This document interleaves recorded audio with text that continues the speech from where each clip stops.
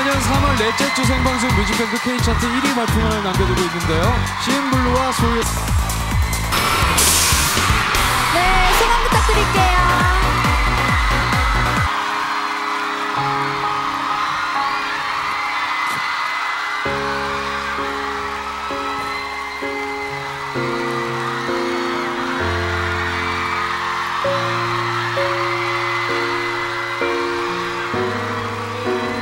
rock